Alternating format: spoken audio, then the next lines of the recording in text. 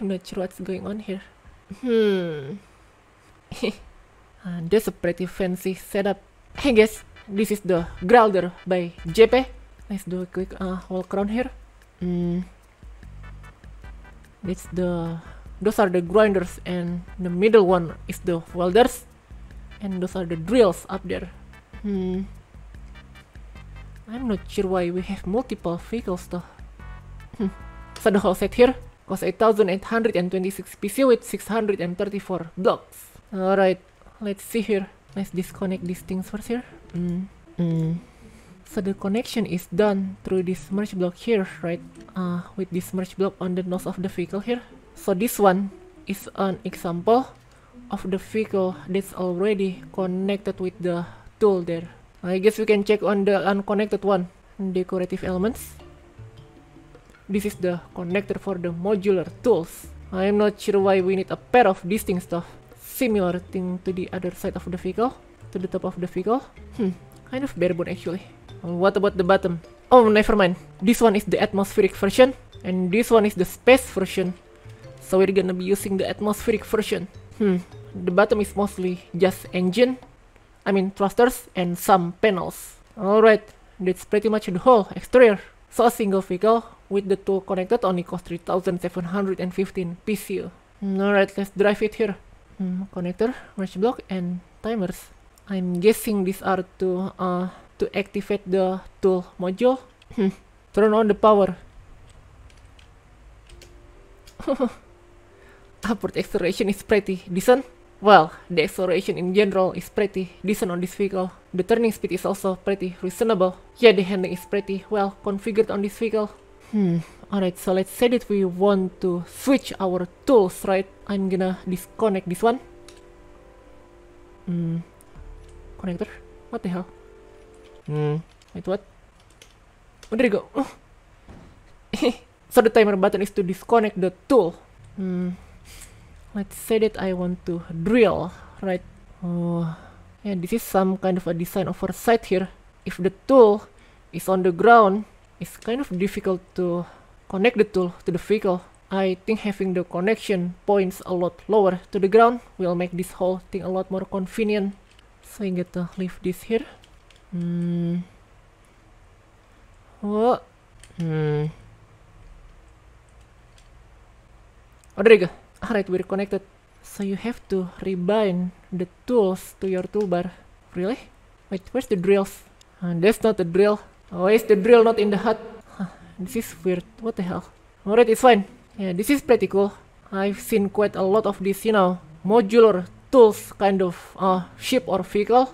I mean, practically speaking though, they are not really that efficient because you're spending a lot of PCU on the connectors and the merge blocks not to mention you will have to keep the other tools that you're not using somewhere, which will use up your PCU.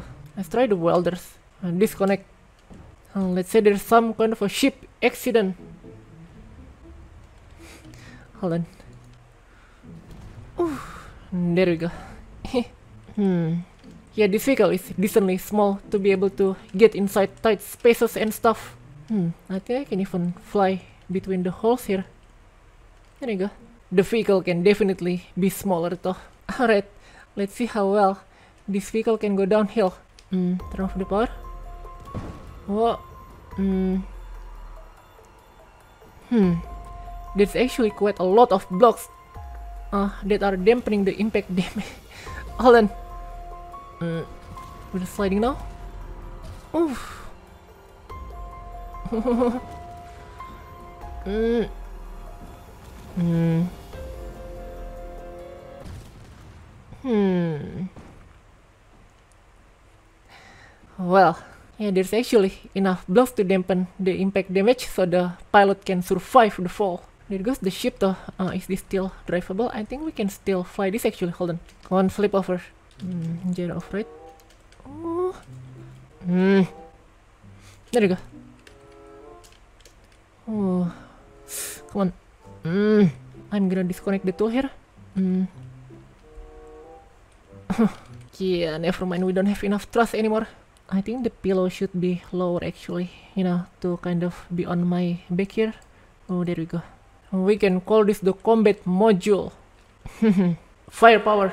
Alright, let's see how well this vehicle can deal with an enemy base. Hmm.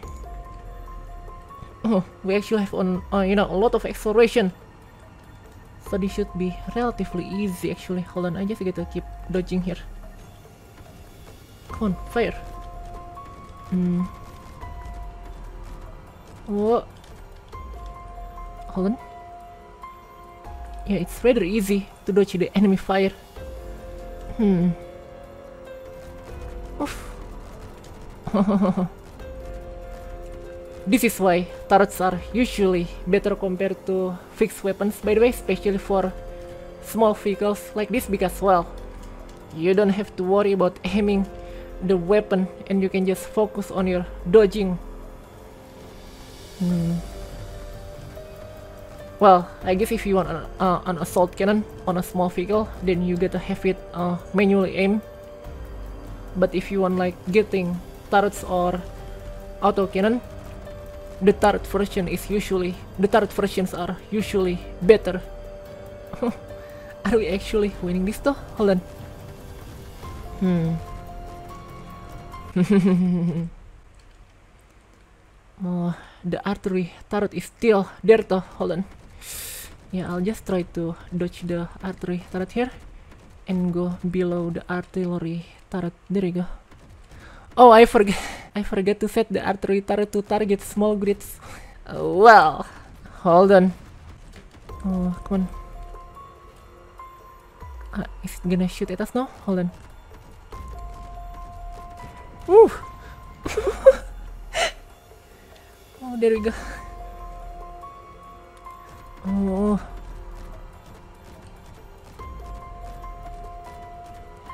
But you know, you can just uh, outturn the artillery turret and go underneath the base or whatever. You see how easy it is to outturn an artillery turret if you have like a small and agile vehicle like this one. Alright, uh, let's go down here and the artillery turret shouldn't be able to target us. There you go. But yeah, well, hmm. This is actually a rather decent combat vehicle.